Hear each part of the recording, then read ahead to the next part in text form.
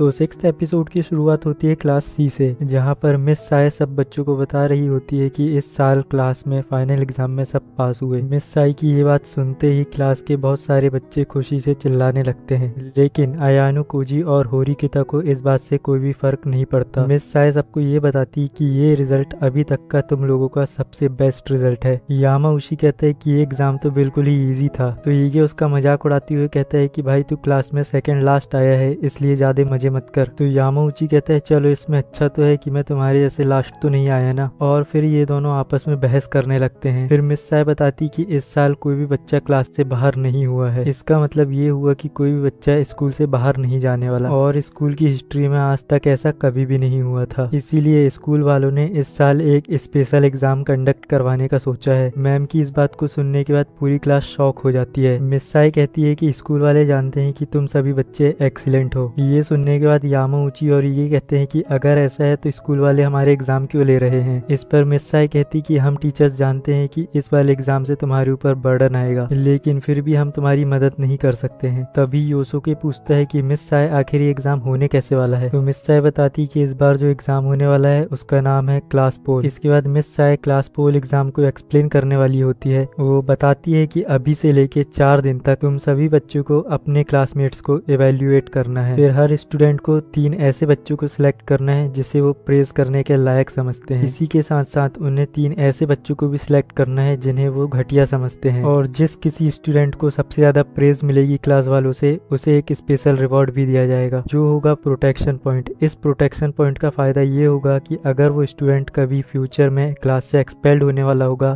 तो वो ये पॉइंट का यूज़ करके बच सकता है। ये सुनने के बाद बाकी सारे स्टूडेंट्स बहुत खुश हो जाते हैं, और आयानो कुजी सोचता है कि ये तो बहुत कमाल का पॉइंट है। लेकिन तभी योसुके पूछता है कि क्लास के तीन सबसे घटिया बच्चों के साथ क्या होगा, जिस पर मिस साई कहती है कि इस एग्ज़ाम में कोई एक ही बच्चा सबसे लास्ट में हो सकता है, क्योंकि इस एग्ज़ाम में प्रेज पॉइंट को पॉजिटिव में और क्रिटिसिज्म पॉइंट को नेगेटिव में लिया जाएगा, जिससे ये पता लग जाएगा कि क्लास में टॉप स्टूडेंट कौन है और लास्ट स्टूडेंट कौन है। और अगर कोई बच्चा लास्ट आता है तो इस बार वो स्कूल से बाहर निकाल दिया जाएगा। ये सुनने के बाद सब बच्चे वापस से शौक में चले जाते हैं। लेकिन बात अभी खत्म नहीं हुई। यहाँ पर अभी एक और ट्विस्ट है। उनकी मैम ये बताती है कि प्रोटेक्शन पॉइंट को ट्रांसफ़र नहीं किया जा सकता। इसका मतलब ये है कि टॉप करने वाला स्टूडेंट अपने प्रोटेक्शन पॉइंट को फेल होने वाले स्टूडेंट को नहीं दे सकता। इसका मतलब ये हुआ कि इस एग्ज़ाम के बाद कोई ना कोई बच्चा स्कूल के बाहर ज़रूर जाने वाला है। अयानु जी मन में ये सोचता है कि ये एग्ज़ाम अभी तक का सबसे सिंपल एग्ज़ाम है, लेकिन सबसे डेंजरस भी, क्योंकि इसमें बचने का कोई चांस ही नहीं है। तो एक बच्चा चिल्लाते हुए मैम से ये पूछता है कि क्या आप सीरियसली बोल रहे हैं कि इस एग्ज़ाम के बाद कोई ना कोई बच्चा स्कूल से बाहर ज़रूर जाएगा। तो मिस साय कहती है कि हाँ ऐसा ही होने वाला है। लेकिन अगर कोई बच्चा एक्सपेल्ड होने वाला है तो उसकी पेनल्टी पूरी क्लास को नहीं लगेगी। होरी किताब बोलती है, हमें स्पेशल रिवॉर्ड तो मिलेगा, लेकिन हमें इसके लिए रिस्क भी लेना होगा। इससे बचने का कोई भी तरीका नहीं है। सो हमें रूल्स को फॉलो करना है और इस एग्ज़ाम को देना है। अयानो को जी मन ही मन सोचता है, सगाई नागी के फादर ऐसे पर्सन तो नहीं है जो इस एग्ज़ाम को कंडक्ट करवाए। फिर हिराता सबको मोटिवेट करते हुए कहता है कि तुम लोग चिंता मत करो, इस एग्ज़ाम में फेल होने से बचने का कोई ना कोई तरीका ज़रूर होगा। होरी किताब भी बोलती है कि हाँ हिराता सही बोल रहा है। हम सभी को मिलकर काम करना होगा और सभी के लिए वोट्स को इक्वल करना होगा। होरी किता की बात सुनने के बाद मिस साई कहती है कि ऐसा करने का कोई फ़ायदा नहीं है। अगर ऐसा हुआ तो ये टेस्ट फिर से करवाया जाएगा। और ऐसा भी हो सकता है कि इनको अपनी क्लास के अलावा दूसरी क्लास वालों के लिए भी वोट करना पड़े। मिस साई ये भी कहती कि स्कूल से बाहर निकलने से बचा भी जा सकता है। और वो तरीका है 20 मिलियन पॉइंट्स का यूज़ करके। और हम ये बात जानते हैं कि किसी भी स्टूडेंट के पास 20 मिलियन पॉइंट्स आना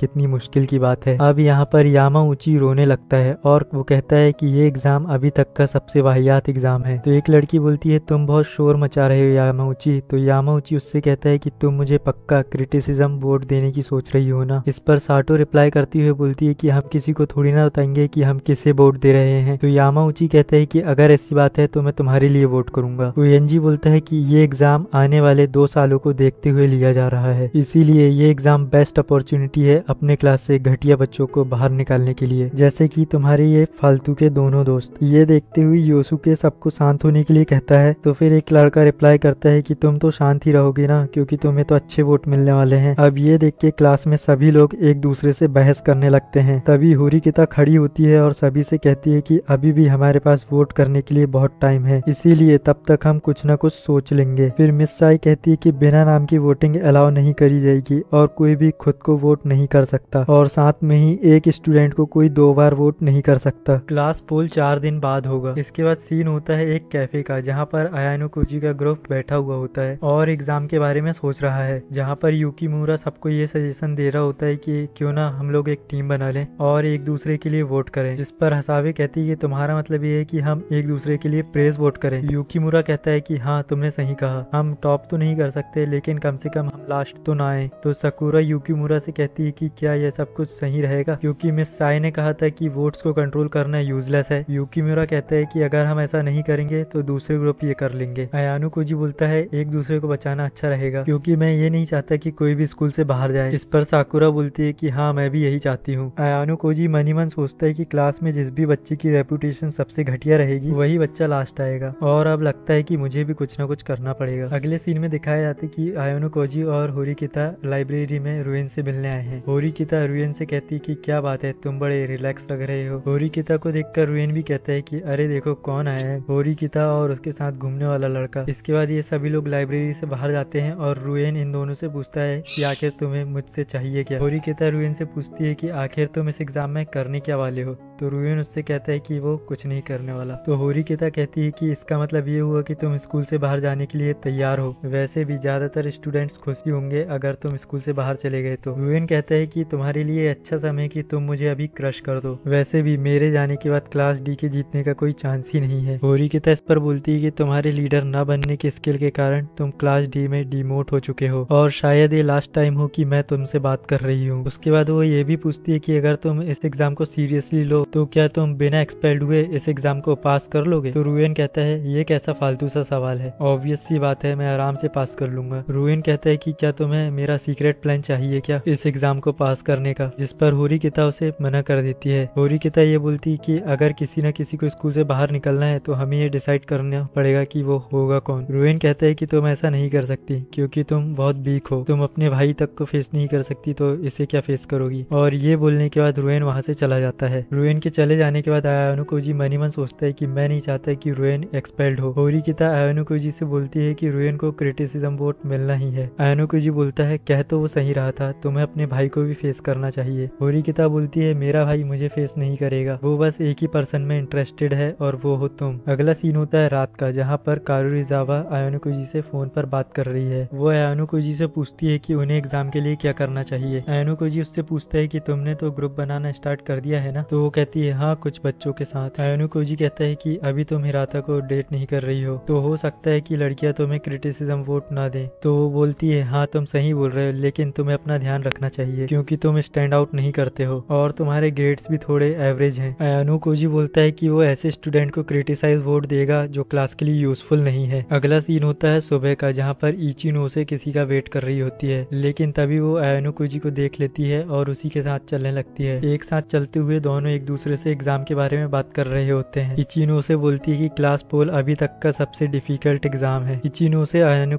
से बोलती है अगर दूसरी क्लास को वोट करना होगा तो मैं अपना प्रेज वोट तुम्हें ही दूँगी। आयनो को जी बोलता है कि रहने दो, ऐसे करने की कोई ज़रूरत नहीं है, क्योंकि मैं ये डिजर्व नहीं करता। इचिनो से मनी मन सोचती है कि आज वो बहुत खुश है, क्योंकि वो आज आयनो को जी से बात कर पाई। तभी वहाँ पर सगाया नागी आ जाती है और इचिनो से उसे देखकर बोलती है कि अच्छा मैं चलती हूँ। सगाया नागी आयनो कोजी से बोलती है, तुम्हें नहीं लगता ये एग्ज़ाम कुछ ज़्यादा ही डिफ़िकल्ट है? उसके बाद वो ये भी बताती है कि उसके पापा को चेयरमैन की पोजीशन से हटा दिया गया है। और ये एग्ज़ाम स्कूल वालों ने बहुत जल्दबाजी में बनाया है ताकि कोई ना कोई बच्चा एक्सपेल ज़रूर हो सके। आयानो कोजी बोलता है, कहीं तुम तो मेरी बात तो नहीं कर रही। सगाया नागी बोलती है, मैंने जो तुम्हें चैलेंज दिया था, वो अगले एग्ज़ाम के लिए रख देते हैं। तो आयानो कोजी बोलता है की, अगर मुझे सारे क्रिटिसिज्म वोट मिले तो मैं अगले एग्ज़ाम के लिए बच ही नहीं पाऊँगा। और वो ये भी बोलता है की, कहीं तुम्हारे दोस्त तुम्हें धोखा ना दे दे। तो सगाया नागी इस पे बोलती है की, उन्होंने पहले ही डिसाइड कर लिया है की कौन क्लास से बाहर जाने वाला है। और जो स्टूडेंट क्लास ए से बाहर जाने वाला है, वो है कातसुरागी। इसके बाद वो आयानो कुजी से पूछती है कि तुम्हारे क्लास से कौन बाहर जाएगा? तो आयानो कुजी बोलता है, उसे इससे कोई भी मतलब नहीं। जिस पर सगाया नागी बोलती है अच्छा ऐसी बात है। लेकिन मुझे ऐसा लग रहा है कि क्लास डी से रुएन बाहर जा सकता है। लेकिन अगर मैं क्लास बी की बात करूँ तो ये देखने वाली बात होगी कि उस टीम वर्क वाली क्लास में से कौन बाहर जाएगा। कुछ भी हो, मज़ा तो बहुत आने वाला है। और वो ये बात करके चली जाती है। अगला सीन होता है एक छोटे से फ्लैशबैक का। यहाँ नागुमो इचिनोसे से बोलता है कि, मैं तुम्हारा इंतज़ार करूँगा। इचिनोसे कुछ प्राइवेट पॉइंट्स की बात कर रही होती है, लेकिन नागुमो उसकी नहीं सुनता और अपनी सीट से खड़ा हो जाता है और वो इचिनोसे के पास जाके बोलता है, मेरे साथ डेट पे चलो हो नामी। अगला सीन होता है प्रेजेंट का, जहाँ पर इचिनोसे अपने आप से बोल रही होती है की मुझे अपने आप को और दूसरों को बचाना होगा। और यहीं पे ये एपिसोड एंड हो जाता है।